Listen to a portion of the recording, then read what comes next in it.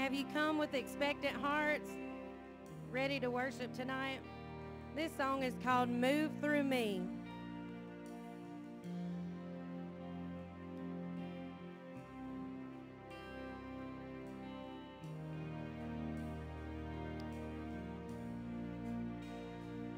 I can't breathe without you. I can't sing without you. I can't be who I'm supposed to be without you.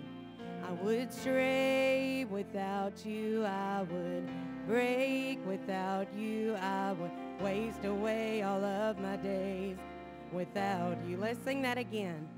I can't breathe without you. I can't sing without you. I can't be who I'm supposed to be without you. I would stray without you. I would break without you. I would waste away all of my days without you. If you want to move, move through me. If you're gonna move, move through me. Holy Ghost, come down, pour your spirit out, don't withhold now.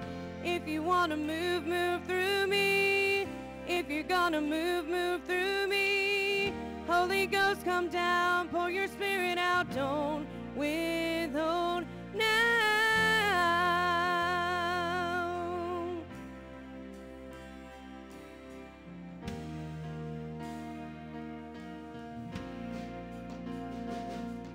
Let the words you've spoken and the cross you've chosen free and bind my life to yours, oh Lord.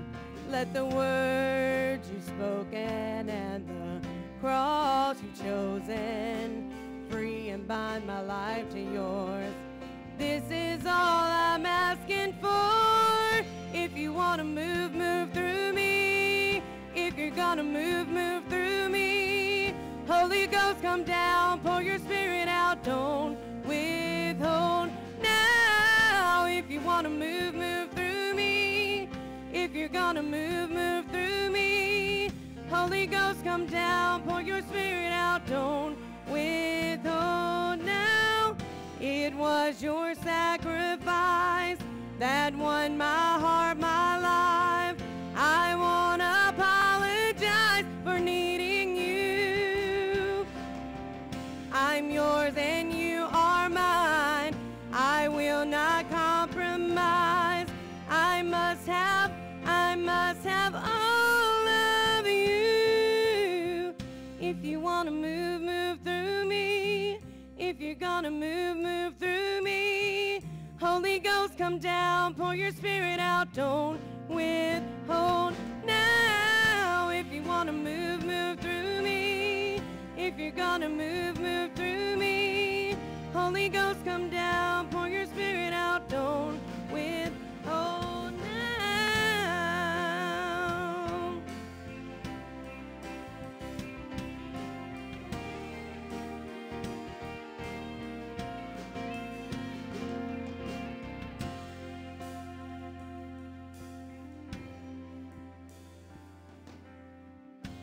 Holy Ghost, come down, pour your spirit out, don't withhold now. If you want to move, move through me. If you're gonna move, move through me. Holy Ghost, come down, pour your spirit out, don't withhold now. If you want to move, move through me. If you're gonna move, move through me. Holy Ghost, come down, pour your spirit out, don't withhold now. Lord, move through me. Amen. He's our way maker. I was on Facebook between church services this morning and I saw that one came to know the Lord this morning. So he's here and he's moving in this revival in this place.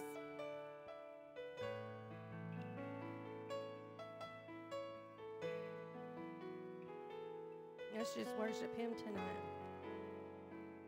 You are here, moving in our midst. I worship you. I worship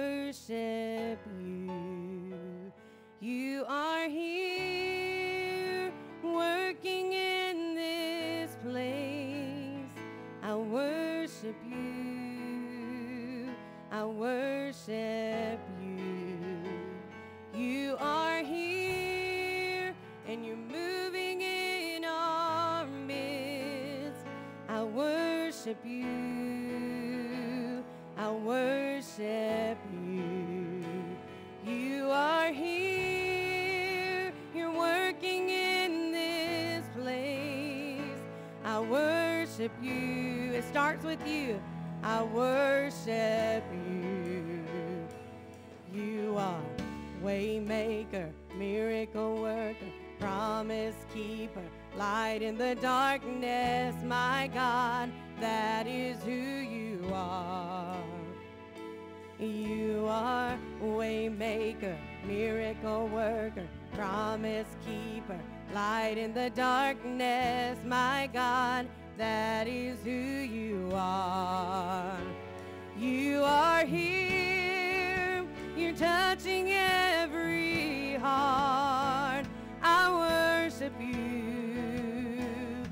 worship you. You are here, and you're healing every heart. I worship you, I worship you. You are here, and you're turning lives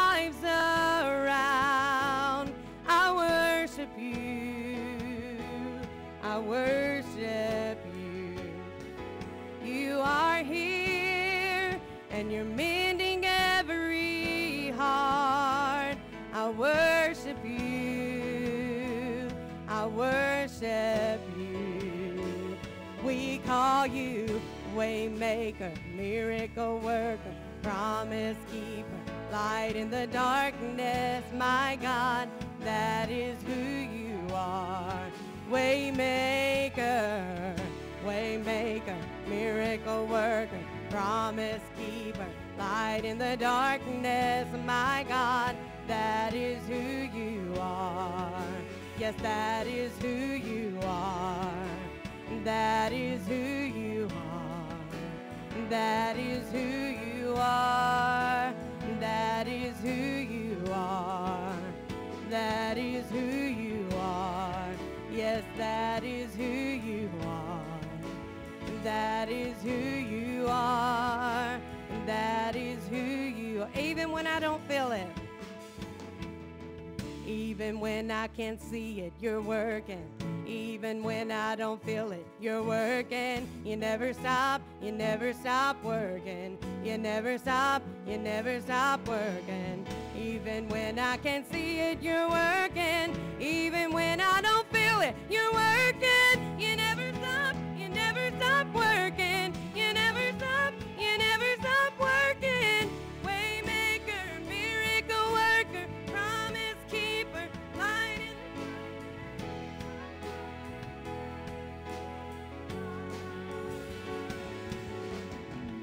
Waymaker, miracle worker, promise keeper, light in the darkness, my God, that is who you are. You are here, you're moving in our midst. I worship you, I worship you. You are here, and you're working in this. I worship you, I worship you. Amen. Amen. You may be seated. Amen. We've got our girls with us tonight. Y'all come ahead, grab your mic. We're going to sing a few specials for you. This is something that our family does. We love to worship, but we also travel to different churches and we sing. And as you can tell, I'm a little froggy. I've been singing all day. And we're going to sing a few songs tonight.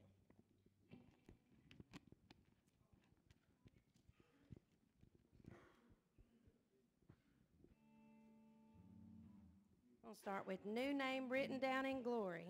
If you know these songs, clap along, sing along with us. This is Allie Kate. She's 12, and this is Sawyer. She's 11. They're helping us tonight. I was lost in shame, could not get past my blame till he saw my name. I'm so glad he changed me, darkness held me down. Jesus pulled me out, I'm no longer bound. I'm so glad he changed me, see, I'm now a new creation in Christ. The old has gone, there's new life. I live by faith, not by sight. There is a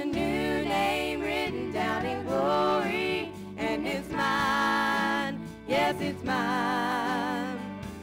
I met the author of my story, and he's mine. Yes, he's mine.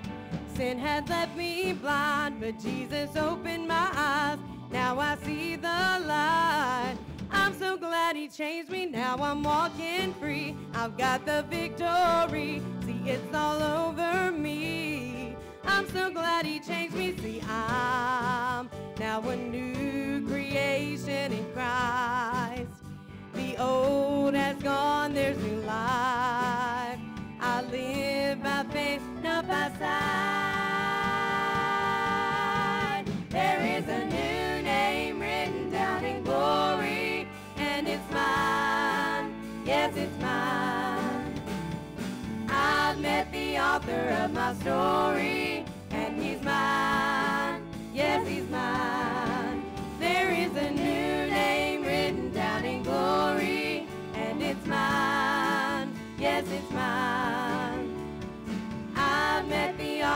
of my story, and he's mine. Yes, he's mine.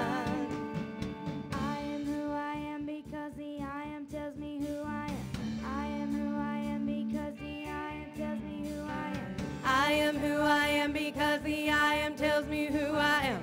I am who I am because the I am tells me who I am. I am who I am because the I am tells me who I am. I am who I am because the I am tells me who I am. I am who I am because the I am tells me who I am. I am who I am because the I am tells me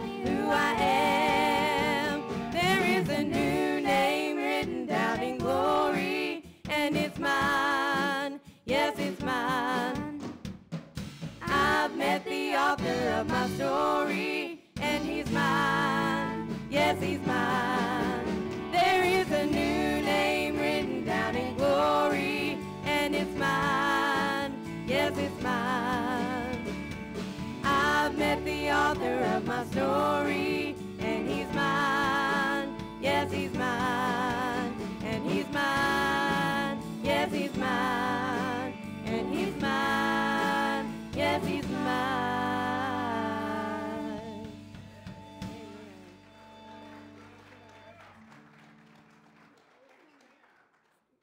We tried a new one this morning, and we're going to try it tonight.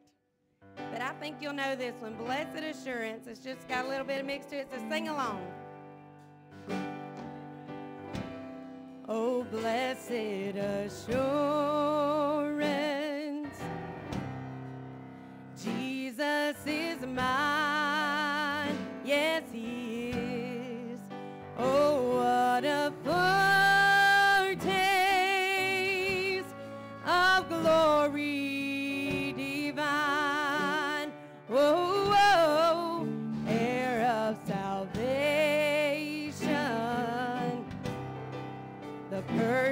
of God. Cause I'm born of his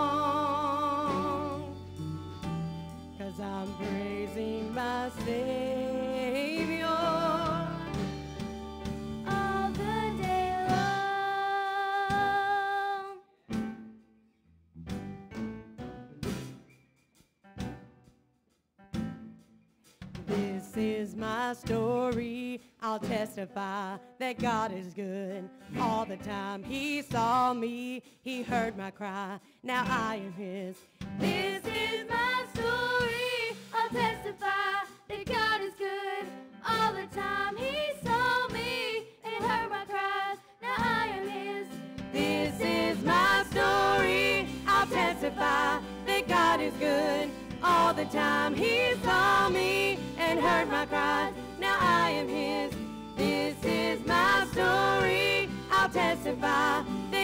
Good all the time. He saw me and heard my cry.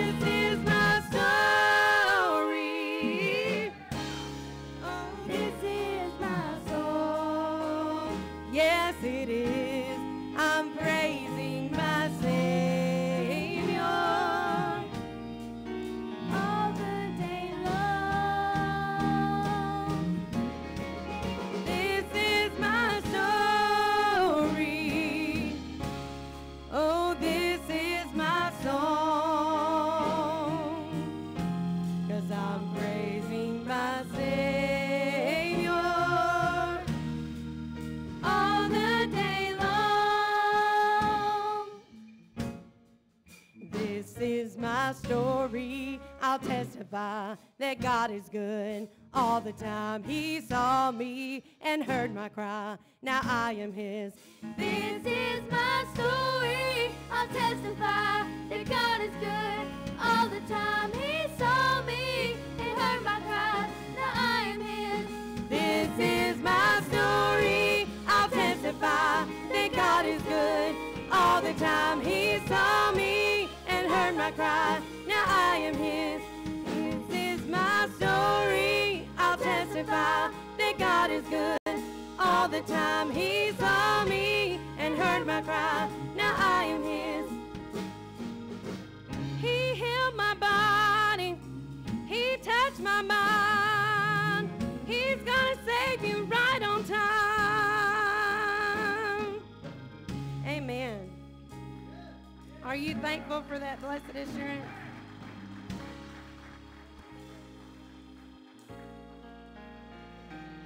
This last song we're going to do is called Great is His Faithfulness. A lot of times we go through dark things or we go through loss, but He's always been faithful. And He's right there with us. He's our comforter. I'm thankful for Him. If you have felt the dark of night, questioning what is out of sight, He is the answer, He is the light. If you have felt the weight of sin, bound by the shame that's hemmed you in, he'll break the chains, he will forgive.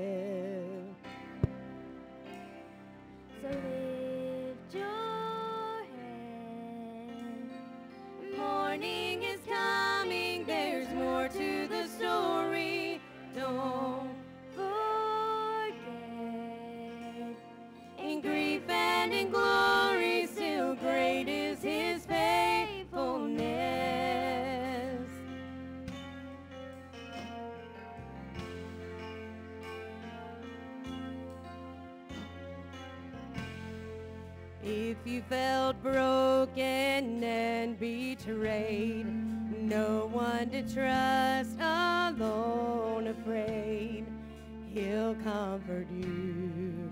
He knows your name.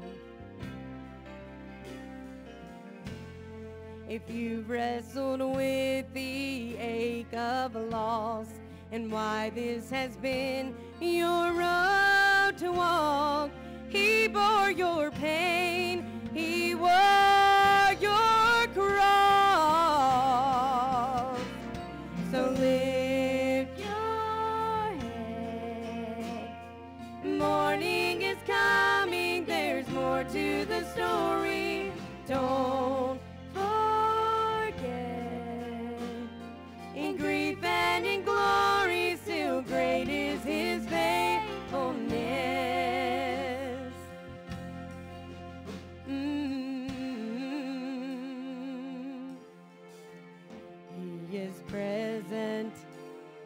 helper keeper. Great is his faithfulness. He's perfect. He's sovereign. Fortress. Great is his faithfulness. Abba, he's my father. Great, great is his faithfulness. Redeemer, restorer,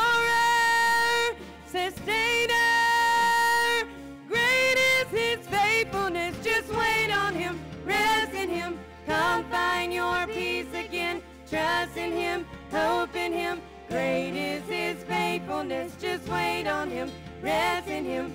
Come find your peace again. Trust in him, hope in him. Great is his faithfulness.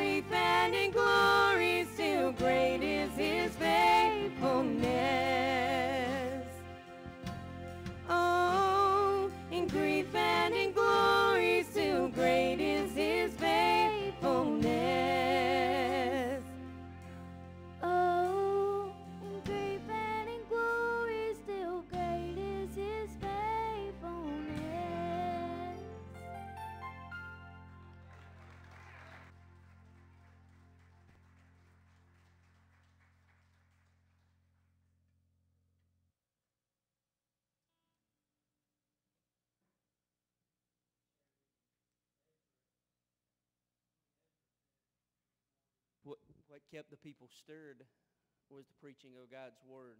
It's what kept the work going. And so I also share with you, if there was one thing I asked the pastors in Montana, what can our church, when I go back and I preach to our church, what can I tell them? How can we help you if and take money aside? One thing, we get lonely. Just visit.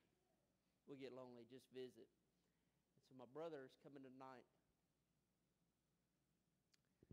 his mission to visit our the churches, to be pulpit supply, to go in. His brother Zach, there's a difference between a calling and a burden, as he explained to me. A burden, you have a burden for something you'll help, but when it really gets tough, we'll usually walk away. But you can't walk away from a calling. If I was going to explain this, it would be like Misty and Derek They work both work at the college. Next week they decide, hey, God's called us to Montana with our two babies. They have three babies, and I'm resigning. He's resigning, and we're just walking by faith. Now, just chew on that a minute, and you'll understand the difference between a burden and a calling. He, he has no home in a sense of Montana. He has no place to lay his head is like you do. Well, I own this much land in this house. It's just God, wherever you show us, I guess is where we'll lay our head when we get to Montana. I'm talking about my brother and his wife, and I thank you for your faithfulness. And I know God's great is his faithfulness, him and Tori. So we're going to love on them this week as he preaches and shares his heart with us. Uh, it's an opportunity for us, church. God will bring revival if, again, we confess. But he, God has also given us opportunity to minister to this family, to encourage them and love them. So, Brother Caleb, you come and uh, you share what's on your heart. Maybe you won't have a message from Wendy's or something tonight, but I'm just kidding.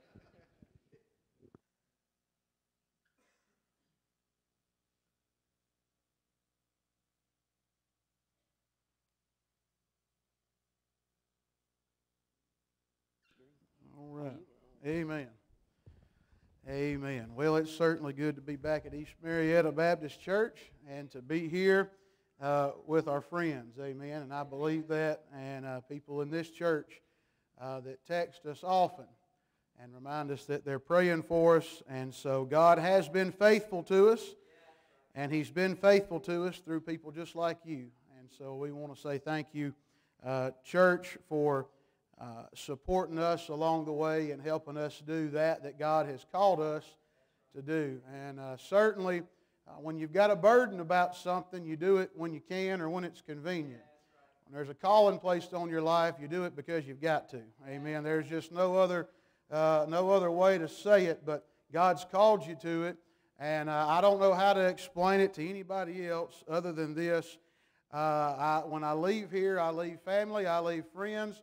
I, I love the crappie fish. We done been over this last year, amen. I love the deer. I love all of those things.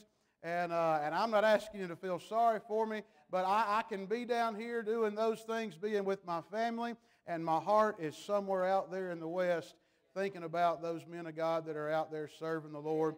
All the peace that God has for me is out there in the West. I'm thankful that God allows us to come back.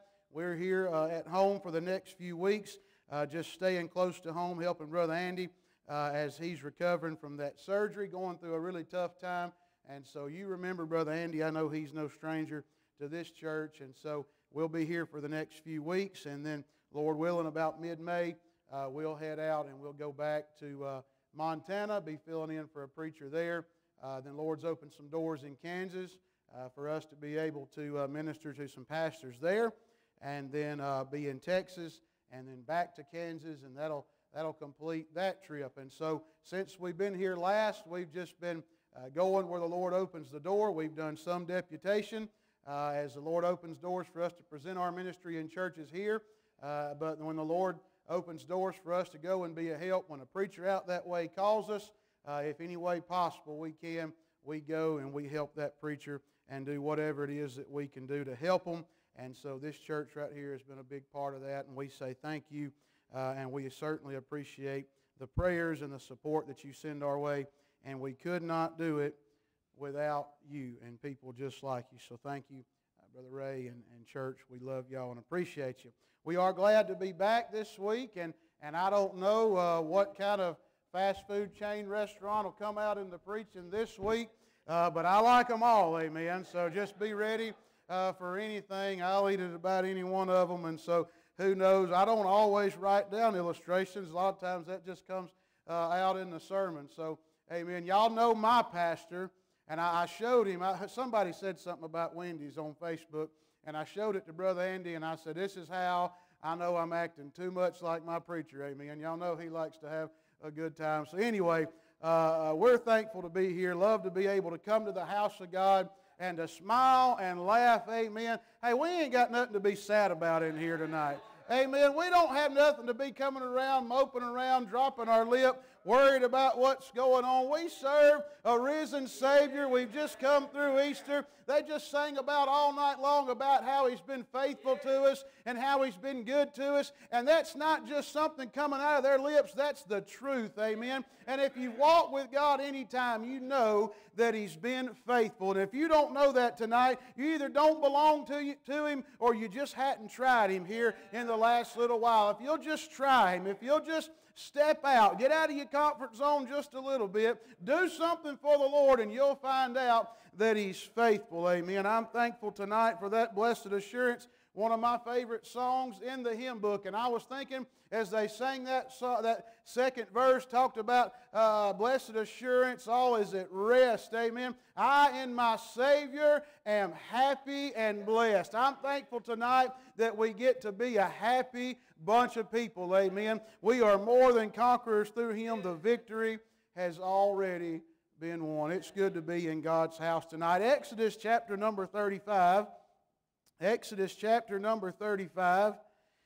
And uh, I want to preach tonight out of this story. One of the most captivating stories to me when I study the Bible is the story of the exodus of the children of Israel from the land of Egypt over into the promised land. And I think that I like the story of the children of Israel going through the wilderness so much is because I relate to them, Brother Ray. They can't help but keep messing up. Amen. Anybody else out there tonight that would just admit you all time messing things up? Hey, we all time failing. We all time struggling. That's why we need him tonight. Amen. If you've got it all together and you don't need him, I wish you'd write a book and tell me how it is that I can do it too. Amen. But we need the Lord, and I love the story of the children of Israel. But we find here in Exodus chapter number 35, and uh, he asked me for the scriptures tonight, and I don't even know how much I'm going to read tonight. We'll just go with the Lord. I've got about 29 verses wrote down, but I don't know that we'll read all that.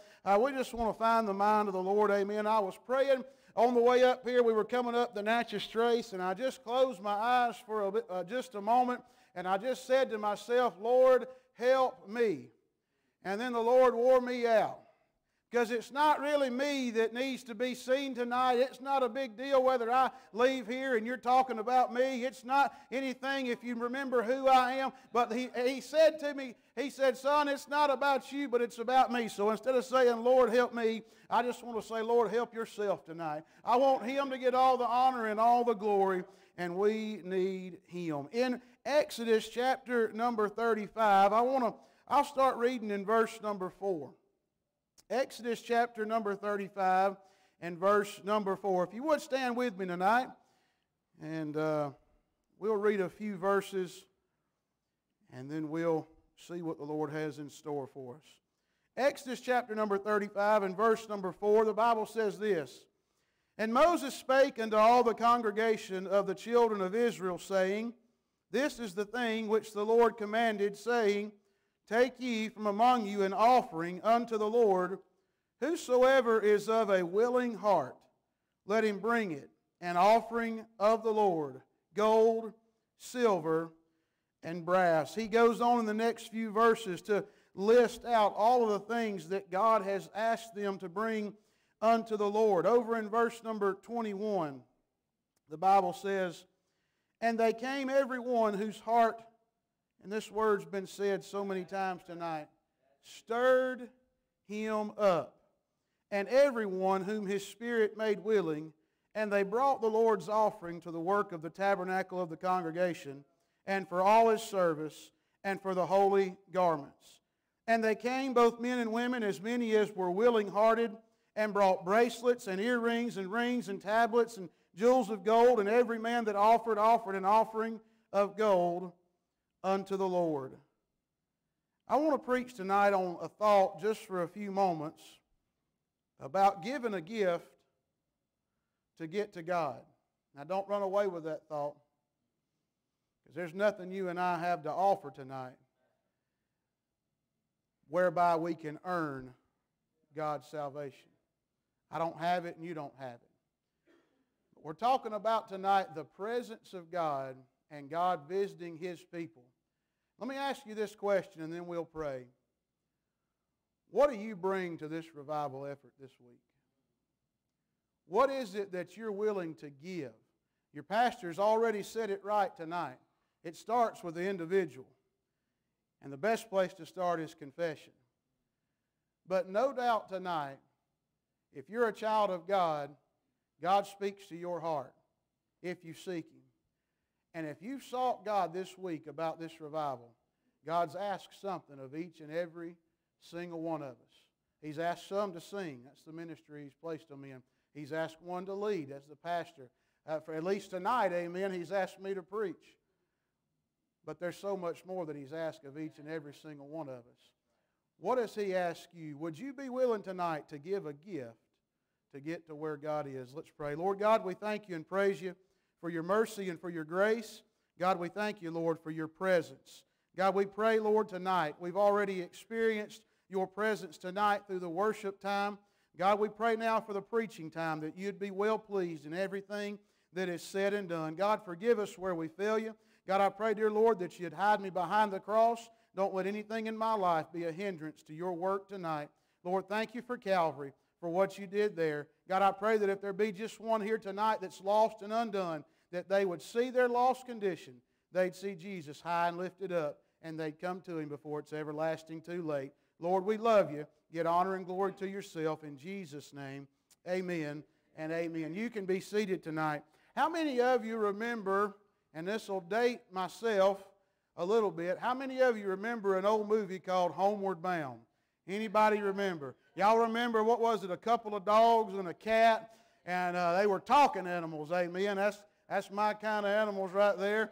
But y'all remember the movie Homeward Bound, and I've got to get it out and go watch it again. But I remember in that movie, somehow or another, those animals, those pets, had gotten separated from their owners, and the entire rest of the movie is about those animals trying to get back home to the people that loved them. Amen. There were some folks that cared for them. There were some folks that fed them. There were some folks that, uh, that took good care of them. And the whole movie is about them trying to get back to those people. It sounds a little bit like mankind. I think about old Adam and Eve in the garden, and the Bible tells us that God would come down and he would walk with them in the cool of day. But we all know the story. We know that Adam and Eve sinned in the garden, and there was a, uh, there was a separation that was placed at that time because of their sin between an almighty and a holy God and a now sinful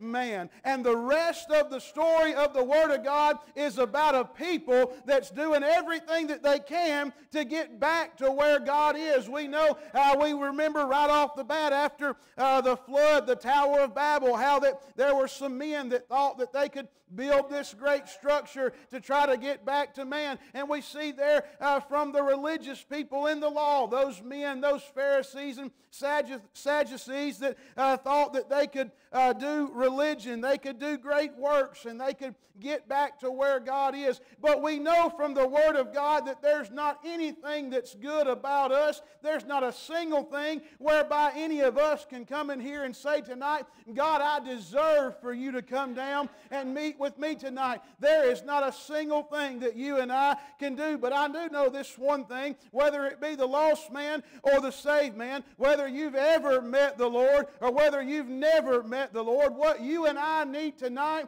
and what we need this this week and what we need every day going forward is the presence of God on our lives. We need God each and every single day. I've made an effort every single day of my life, especially as I've gotten older and God's given me a family and God's placed me in the ministry. The very first words out of my mouth when I wake up in the morning before I've even rolled out of the bed is to say, Lord, I need you. I read a quote, and it was actually Denzel Washington, I believe, that said it. He said, before you go to bed at night, he said, kick your shoes way up underneath the bed. That way, when you wake up in the morning, the first thing you'll have to do will be get on your hands and knees so you can get your shoes. I'm telling you, child of God, tonight, what you and I need is the Lord. There is no substitute for God's presence in our life. We need Him. And the good news about it is, though there's nothing that you and I can do in and of ourselves to get to where God is, God wants to meet with us even more than we want to meet with Him. Amen. I'm thankful tonight to tell you that even though He's a holy God and I'm a sinful man, that God desires fellowship with you and I. God wants to meet with us. God wants to pour out a blessing to us. And no matter where it is that you are tonight, whether you're lost or whether you're saved, the Lord Jesus Christ wants to meet you right here at this altar tonight, and He wants to pour out His blessings on you. You say, that sounds an awful lot like a prosperity gospel. Just go in there and read about them Old Testament saints. I'm not telling you that life's going to be all raindrops on roses and whis- whiskers on kittens, as the old song said, but I am telling you this there is no life like a life that is lived for God, and God will open up the windows of heaven and pour out a blessing on your life. We need the Lord. We find here in the story of the exodus of the children of Israel, they're on their way across the wilderness. They've left out of the land of Egypt. They've been slaves for 400 years. God's called them out of the land of Egypt. We know about the 10 plagues. We know about the blood over the door. We know that they've crossed over the Red Sea and they're on their way to Canaan land. We know all about the miracles that take place there in the wilderness, how God feeds them with manna from heaven, how He brought forth water from the rock. And we find that there's a people that's been led by God. They've been led by a pillar of cloud by day and a pillar of fire by night. We know that that is the Holy Spirit of God, the glory of God in that cloud that leads His people. But God Almighty here in Exodus chapter number 35 has sent a request by His man that he wants the people to bring him a gift. That's what he said in verse number 4. said, And Moses spake unto all the congregation of the children of Israel, saying, This is the thing which the Lord commanded, saying, Take ye from among you an offering unto the Lord. God has called unto his people and asked them to bring an offering. Amen. I, I'm thankful tonight, and I noticed tonight that God sent a message to his people by the way of his man. Amen. I'm thankful tonight that God is still using and God is still ordained and God's still using the office of a pastor to lead his people. I, I thank the, Lord for Brother Ray. I said uh, something to somebody this week. I said, I can tell you one thing for sure. Brother Ray will have this place packed and they'll be excited to be in God's house. Amen. I don't come to church here all the time, but I know that there's a man of God that's doing the work of God, and the fruit of it is that you're here tonight. And I'm not trying to build him up, but I'm just telling it like it is. God still uses his man to lead his people. Somebody say amen tonight. That's the word of God. And I know that you love your pastor here and that he's led you all these. How many years you been here, Brother Ray? 17 years. Glory to God. It's pastor appreciation tomorrow night, but I think East Marietta ought to appreciate their pastor tonight. Amen. 17 years. Amen. And he ought to appreciate you for following him all those 17 years. God's still using his man, but he sent word to his people that he wanted an offering. And this is what he wanted an offering for. He wanted them to build the tabernacle. And more specifically, he wanted them to build that place called the Holy of Holies. Because for the first time in forever, seems like my kids sing that all the time. I think that's a Disney song or something. For the first time since the Garden of Eden, God is going to come down, the Shekinah glory of God. He's wanting them to build a place, the Holy of Holies, where the very glory of God is going to come down and rest and he can fellowship with mankind. God wants to meet with us this week. Hey, as much as you want to meet with Him, as much as you think that you need Him, God wants to meet with us tonight. God wants to meet with us this week. But it may just be like the children of Israel that God's asked you to bring an offering. I'm interested in that offering tonight what is it that God might be asking you to bring this week in order that you might get to the place where God is? They were commanded to bring this offering. Well, what kind of offering is it that'll get you to God? Now, be clear tonight. I'm not preaching about salvation. Amen. I'm not preaching about bringing something to God to be saved. There ain't nothing you can bring to God to be saved except you're nothing. Amen. You just got to come to Him talking about saved folks tonight, the church a revival time, what is it that you can bring to the Lord? Well, first of all, tonight I notice that it's a sacrificial gift. It's a sacrificial gift. He said there in verse number 4 of chapter number 35, or excuse me, in verse number 5, he said, Take ye from among you an offering unto the Lord. Whosoever is of a willing heart, let him bring an offering of the Lord, gold and silver and brass. We don't even have to read the rest of the list to know that this offering was going to cost this people something. Amen. It might just be tonight, church, if you're going to get to where God's at, if you want to experience the fullness of God in your life, if you want to experience the presence of God in your life, God might be requiring of you something that's going to cost you something. And I'm not just talking about the money that's in your wallet tonight. I don't know what it is for you. I don't know what God's told you. I don't know what God's told you. I know what it is that He's told me. I know what God's laid on my heart to do. And I know what He's still. I had a preacher one time, he was preaching. He's talking about the move of God on your life. He said, You know, God just burdened my heart one time to start ironing my shirt. Everybody started laughing. He said, I'm telling you the truth.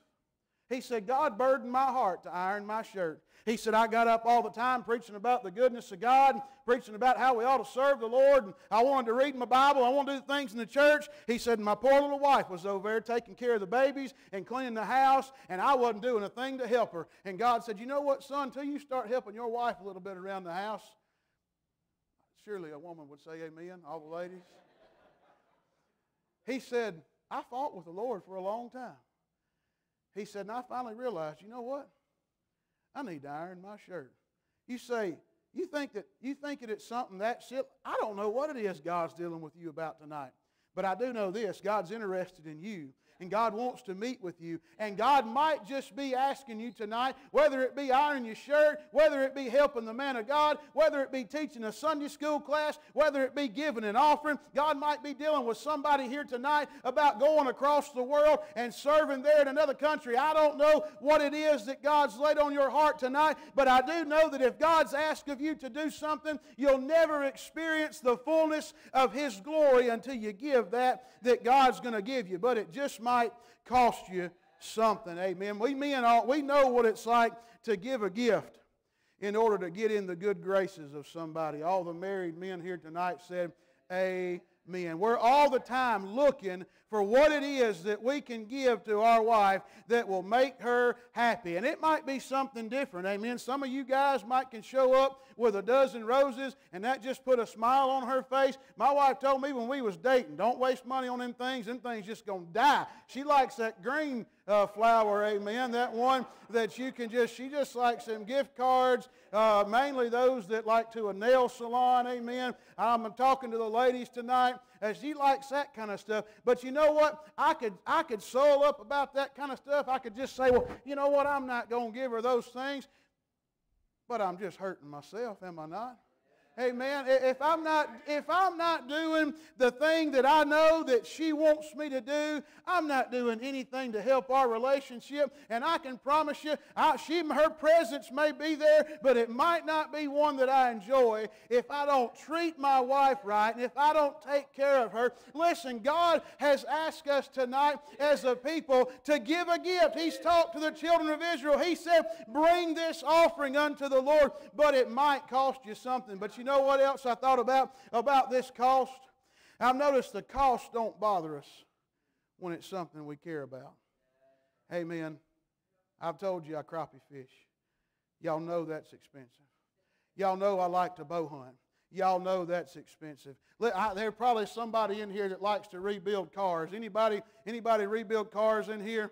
All right, nobody. We struck out on that one. Amen. Anybody here like to go out and eat at fancy places, amen. I do. I like every once in a while, I like to go get me a good steak, amen. Somebody say glory to God. It don't bother us to pull $150 out uh, when we want to go eat a nice filet mignon somewhere. But oh my goodness, you let the Lord tug on our heart to put a little extra in the plate at church, and all of a sudden, Lord, we need that money, amen. Do we not? Are we not okay with the cost when it's something we love and something that we care about. If it's not worth it, we're not going to pay for it. That was the whole deal with the four for four from Wendy's, amen. We, we only going to give it if it's worth it. The cost is only something we're going to give if it's worth it. Well, can I say to you tonight, church, I don't know what God's asking you to give, but I know He's worth it, amen. I know the presence of God in your life is something that will be worth it. I see that it's a sacrificial offering, and it comes with a cost. But not only does it come with a cost, there has to be a crucifixion. You say, you see a crucifixion in this passage? Oh, yeah, because I see a bunch of men that's got a bunch of money and a bunch of things, and God's asking them to give it.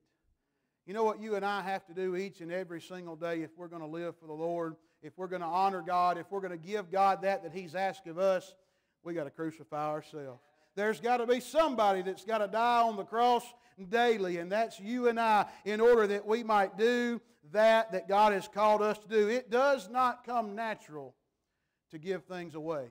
There's not a single one of us that were born wanting to be givers. Every single one of us are born with a sin nature, and we're born wanting to take. We're born wanting to keep. But God puts, puts some things in us as He's saved us and as He sanctifies us, and He asks us to give. I found it, I found it very strange that when God asked Abraham to give his son, his only son Isaac, that we never find in the Word of God where Abraham ever just for a second questioned God. You don't see it. You just find him loading up, packing up the mule, gathering some wood, and walking up the side of the mountain, taking Isaac to go and sacrifice to the Lord.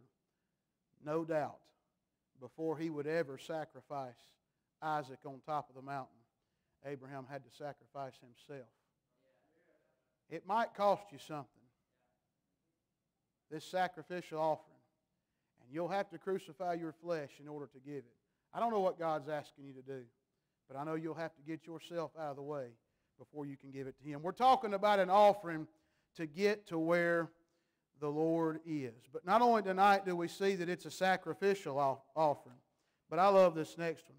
We see over in verse number 21 that it's a stirred offering. A stirred offering. The Bible says in verse number 21 and they came, all the children of Israel, all six million of them, however many it was out there. No, that's not what it said. It says they came everyone whose heart stirred him up. Now that caught my attention because one of my favorite verses in the Bible to quote is the one that said, The heart is deceitful above all things and desperately wicked.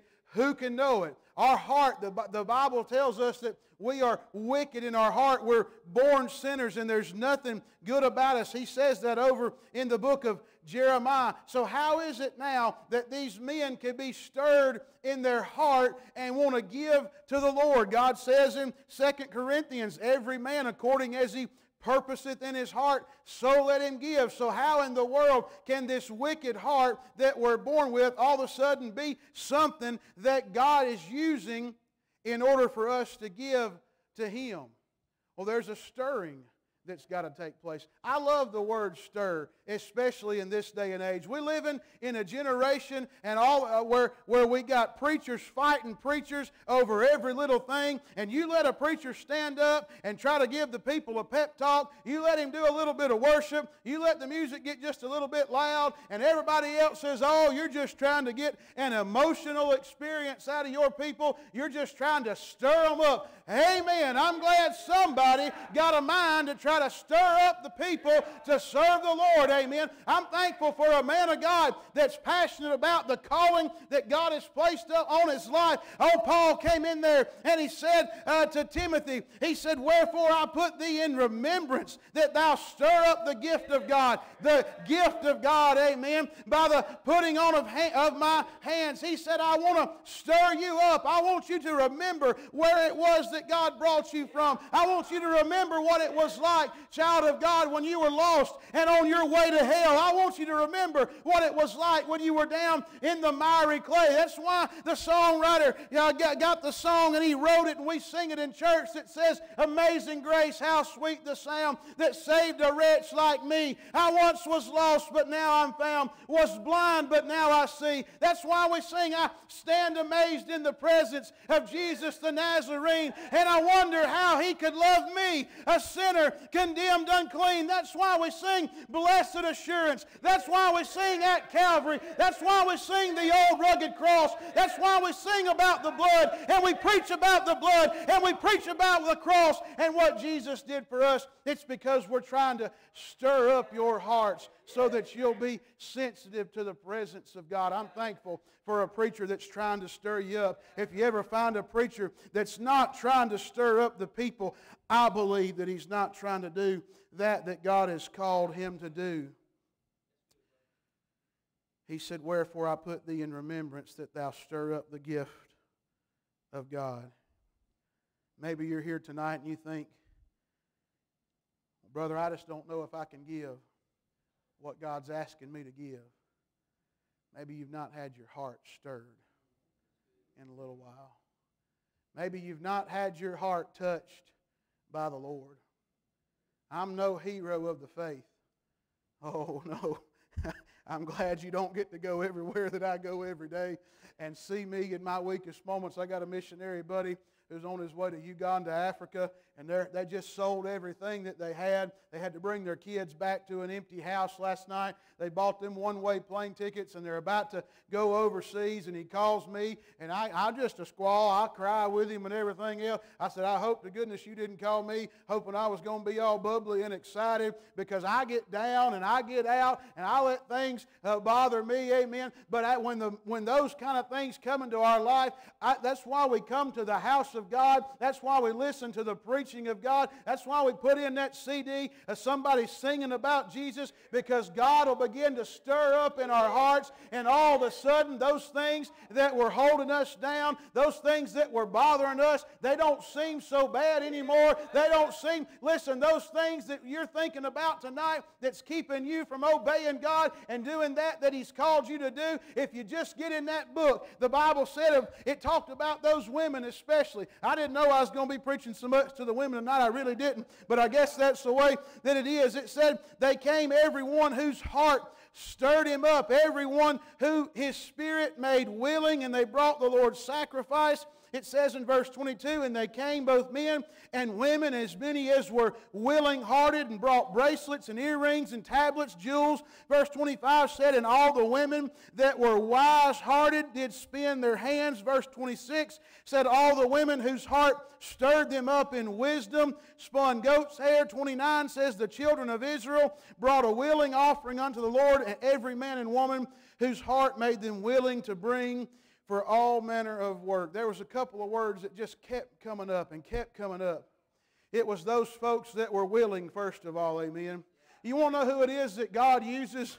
God don't use special people. He just uses the ones that show up. Amen. He uses the ones that's here. He uses the ones that raises their hands. Hey, I love this brother right here. He was, he was here a year ago, and he was standing here. He had just taken over the youth. Is that not right? Last year, you hadn't been doing the youth very long, and he stood up in front of the church, and he said, I ain't nobody. I don't know what I'm doing. He said, I, I he said, I just don't know if I'm even the one that can get it done, but he's still here working with the youth. How many youth have you got right now?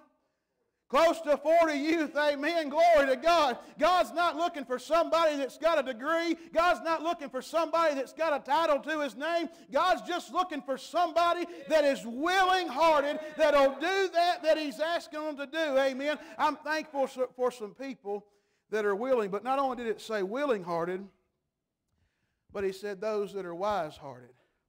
There's only one way I know to get wisdom. The Bible says, if any man lack wisdom, let him ask of God. And the only way I know to increase my faith is to read the Word of God. Are you willing and are you wise? Because if you are, you'll give that that God's asked you to give. We're talking about an offering, a gift to get to God. God wants to meet with us. Are you willing to give that gift? One more thing tonight and I'll be done. We notice tonight that it's a sacrificial offering, it's a stirred offering, but I want to close with this it's a supplied offering. It's a supplied offering. Take some time tonight and go back and read the chapter and read all of those things that God asked him. It wasn't just gold and silver and brass. Let me just read two verses, verse 6 and 7.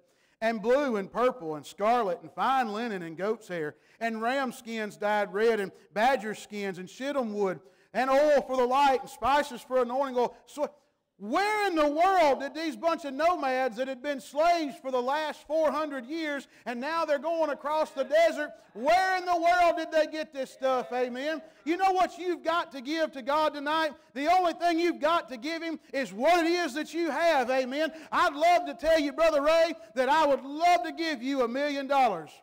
But I ain't got a million dollars, so there ain't nothing that I could give him. I would give you the few dollars I had in my wallet, but we were out of coffee, so before we got here, we stopped at Dollar General, and I used every bit of every the last dollar I had in my wallet. They wouldn't take my card. I had to use my cash, amen, because we got to have some coffee tomorrow morning. Somebody say amen. I'd love to, I would love to be able to give a gift, but the only thing that I can give is what I have. The people of God, He called on them to give an offering. Where in the world could they get, where'd they get all this stuff? I come home from time to time and I'll say, Tori, what are we going to have for supper? And she'll say, I don't know. I'll just have to see what we got. Sometimes we have like macaroni and cheese and mashed potatoes and some kind of minute rice. I know that's three starches, but you just got to eat whatever's in the cabinet, amen. If you ain't got it, you can't cook it. I'd like to have a steak, but if there ain't been one marinated, there ain't been one frozen, uh, thawed out, I ain't having steak that night because we're only going to get what we have. And we can only give to God what we have. Where in the world did these people get these fine things, this gold and this silver? Where did they get these things to give back to God? Even uh, David said in, in Chronicles, But who am I and what is my people that we should be able to offer so willingly after this sort? For all things come of thee, and of thine own have we given thee. We don't have anything that's not God's already. Where did they get these things? To give to the Lord, we got to go all the way back to Exodus chapter number 12. Exodus chapter number 12.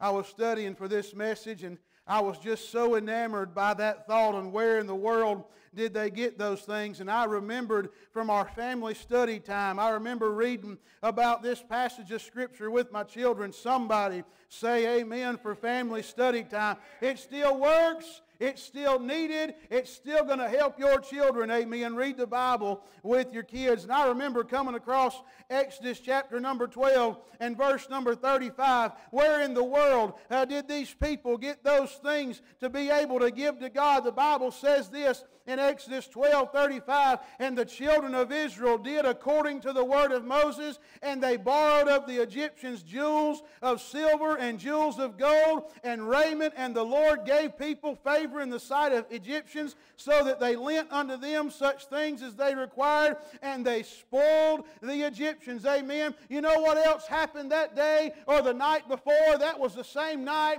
that they took a little lamb and they killed him, and they took the blood and they put it on the doorpost and they put it over the door. And that was the night that the angel of death came through the land of Egypt, and the firstborn in every family died if they didn't have the blood that was on the door. A picture of what Jesus Christ did for us. God saving them out of Egypt. A picture of the world, taking them over to a place called Canaan. A picture of the uh, spirit filled life for the Christian. Amen. I'll say to you tonight that you got everything that you got to be able to get to God when you got Jesus Jesus on the inside of your heart, the same time that He saved them out of the land of Egypt, the same time that the Passover lamb was sacrificed, that's when God gave them everything that they needed. They got it all back there in Egypt when God saved them from those people. Amen. What are you going to give to get to God tonight? Whatever it is that He's asked of you, you got it all when you got Jesus. Amen. You got it all. You thought I was going to stand up here tonight tell you you was going to have to write a big check. You thought I was going to get up here tonight and tell you God might ask you to sacrifice your son. God ain't a drama queen, amen. He only ever asked one man to give his son, and he didn't even make him go through with it. God, God's not asking you to build an altar of stone and take a knife and sacrifice your children. But it could be that God's asking you to bring your children to an altar and just give them back to Him. Jackson asked me a few weeks ago, and please don't think I'm telling you this because I want you to feel sorry for us, because I don't. Jackson asked me a few weeks ago, he said, Daddy, when am I going to get to sign up and play T-ball again? And I know that don't seem like much, but that's hard for a daddy, amen. Because we want our children to have things. We want them to be able to grow up and have a good time. Everybody wants that for their children. And right now, where we're at, where we're the way we're traveling, that's just not something. So for the Willard family right now, one of the things we got to give him is T-ball. And that seemed like a lot to you. It was a lot to me. But I know this. I know that I'll never experience the presence of God in my life. I know that my children will never experience the fullness of the presence of God in their life if we're not willing to give all that up. I'm not a hero. I'm not, I'm not, don't look at me and think that I've done anything. Because he's not asked anything of me that he's not asked of every single one of you. God's got a purpose and a people for every one of you. God didn't just save you so you'd sit on this church pew, amen. Your pastor said something earlier in the service that caught my attention. He said, Stop wondering if, if you can serve the Lord, something like that. Just get busy serving Him. There's a place for every single one of you to serve Him. It could just be that you'd have to give up something before you're able to do it. What is it tonight, church? As our musicians come, get a song of invitation. We call it revival. We put it on the schedule. We bring in somebody to sing. We bring in somebody to preach. But what is it tonight, church, that you'd really be willing to give in order to experience the presence of God in your life? It might cost you something. It's a sacrificial gift. He said, I beseech you, therefore, brethren, by the mercies of God, that you present your bodies a living sacrifice. Heard a preacher say one time that we really don't sacrifice in light of Calvary. Really not a sacrifice, and he's right. But it still might cost you something. But I want to remind you this you have the opportunity to be a living sacrifice for him because he was a dying sacrifice for you. You don't have to go and die on a cross. You don't have to shed your blood. You don't have to pay for your sins. He's already paid for them. It's a sacrificial gift. It's a stirred gift. How many of you have been stirred lately?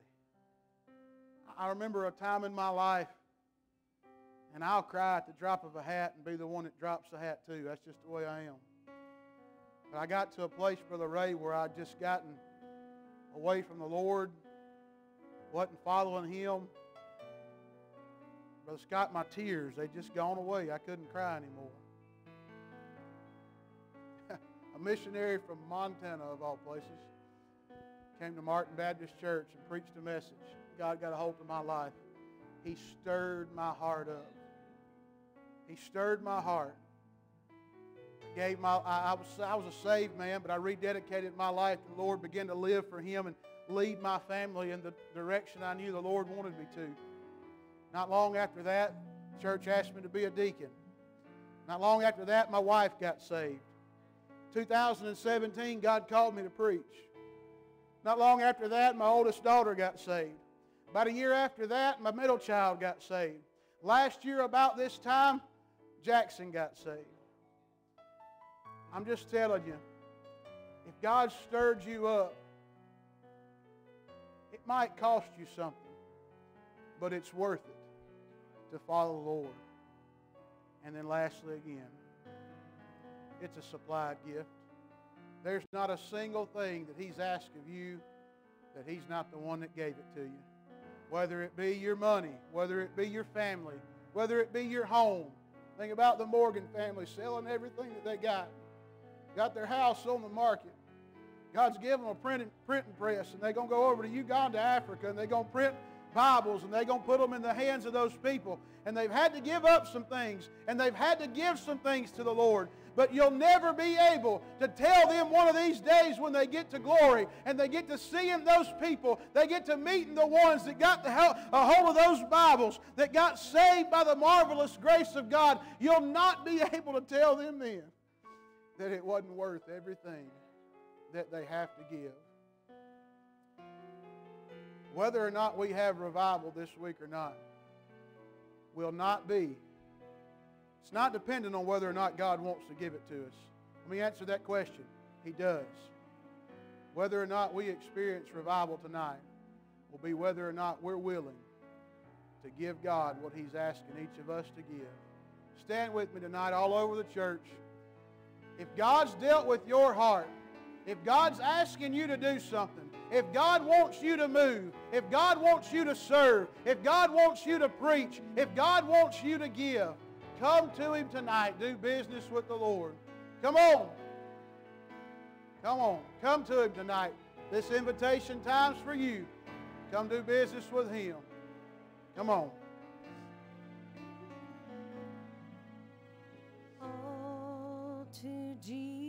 Come to Him, church. How bad do you want it? What are you willing to give? To Come on. Oh, we can have it. We can have His presence. We can have His goodness. We can have it all. What's He asking you to do? I cannot answer that question for you. I can answer it for me. What's He asking you? Come to Him. I surrender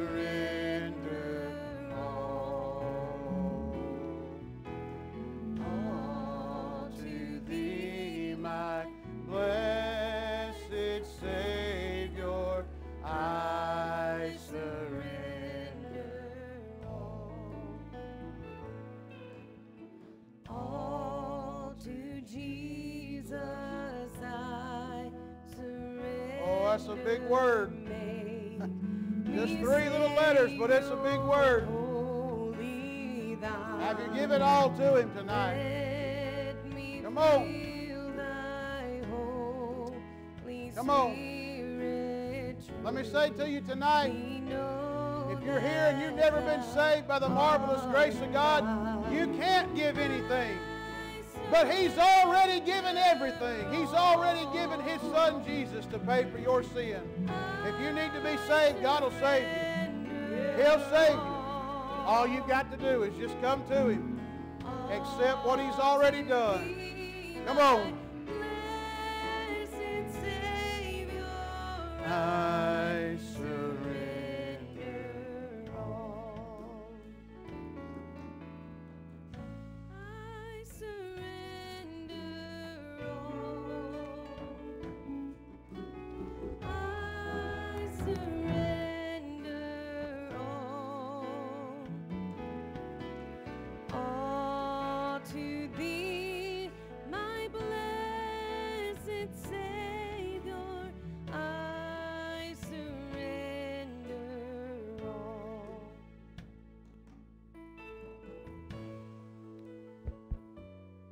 Others are praying, I pray right now, God, for that one that's holding on.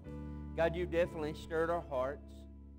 God, whether saved or lost, God, you've stirred hearts here.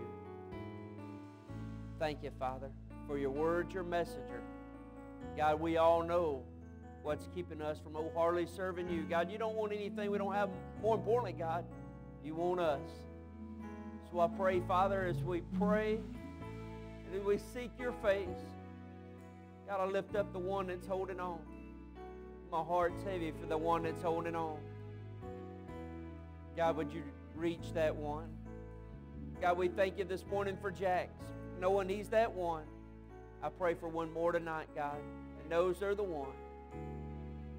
God, would you Help us tonight. You said, Father, you don't need us, but oh Lord, we need you. One day's coming a day. One day's coming. God, just move as we sing. Would you come tonight, church? Is God's gracious enough to continue to speak to you? Just step out. Say, hey, I need to go. Would you come tonight as we sing one more verse?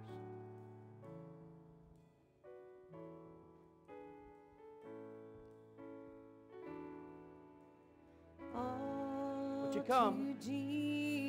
I know what it's like to fight. Won't you come? I know what it's like to fight. Won't you come tonight? I give Come tonight. Oh, friend, listen. God's moving in your heart. He's speaking to you. If you'll just come. If you'll just come. I know the spiritual battle. I know the battle you're in. Just let go. Just let go. Call on me. Would you come tonight?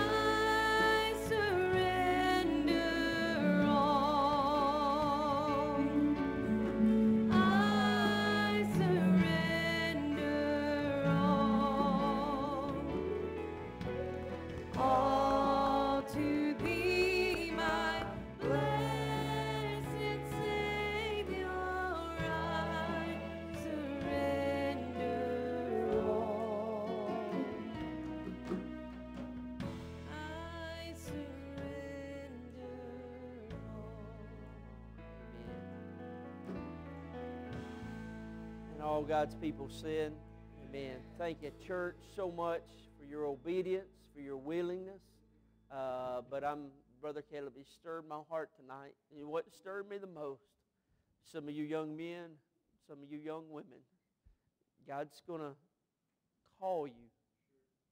He's going to call you. Some of you older ladies, some of you older men, God's going to call you. I look forward to the day that you're willing to let go of whatever you think. You can't do that. You can't do that. I tell people all across the place I go when they talk about the orphanage, I used to think that God could only use celebrities and great people to do great works. That's a lie straight from hell. As my brother said, he's just looking for willing folks. Just willing folks. Uh, I love you, church. I want to keep praying for you. You be committed. I know I told you there'd be all kind of monkey wrenches and everything else going on. If you're involved, uh, I know we've got teams involved in the playoffs tomorrow. Time y'all's games start tomorrow, Glen Ashton? Five? You don't know. Carrie, time? What? What is today? Oh, yeah, yeah, yeah. Tuesday. What time's your game Tuesday? Four? Five. Are you on the team? just wondering. I mean, I'm just kidding. That. All right. So five o'clock. If you got to get here with baseball uniforms on at seven o'clock, I, it, will be all right. All right. I, I get it. It- there- we will never have a perfect week just because the devil is in a spiritual battle. We can we can shut the whole world down and say this week we're having revival, and there's always going to be something come up that's never come up before. It's okay. All right. Uh, it's not okay to say, well, we can't do that, or well, we can't do that. You be committed to say, hey, I'm going to do. If you come in here, Glenn, Ash, you come in here, mud all over you, it's fine. I promise. All right, brother. This brother will be looking for you. I promise. All right. Uh, uh, the Clarks, I know uh, Case plays. Others may play.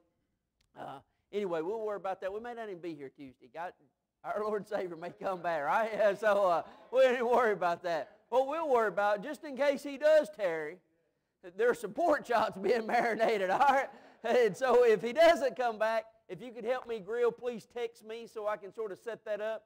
We'll eat tomorrow night at 5.30. We will host. Uh, when, if you see a guest pastor, please push them to the front of the line tomorrow. We want to minister and love on them. I have got a dear friend that's, uh, I, I have three pastor friends, one acquaintance, two really good friends uh, in the last month, I, I guess you would say, uh, that have resigned from their churches. And, it, and then when Brother Forrest out in Montana, he, he resigned. He, they shut the church because of lack, uh, his support was cut off. That has broke my heart. And I said, we go 15,000 miles across the sea to encourage pastors uh, in the Philippines. Why would we not try to do that here? And so tomorrow you have an opportunity to love on people, but I promise his message won't just be to pastors. His message will be continuing to stir the heart of God's people. Tell people all the time I'm a pastor, but it, I'm really a Christian that God's called to lead people, right? I have the same uh, calling in my life. I've been called uh, to be a follower of Christ. God's just put me in a position to lead uh, a flock here on this hillside. Is there anything else uh, before we go? Uh, Brother Caleb, sir, uh, I tell you what, can you and your family, I know we normally don't do this, y'all care to go to the front there? and we'll just come around and, and encourage them, let them know you're going to be praying for them this week. Um, Miss Tor, maybe we won't have macaroni and cheese uh, to eat every night. Oh, I'm sorry. I y'all don't have macaroni and cheese. Not with rice. Well, you know, he was in he was in the spirit. If I can justify that, right? What is? Hey, church, we're gonna be dismissed, but you going around and hugging them and encourage them. We'll be back tomorrow night at 5:30. You're at liberty to go.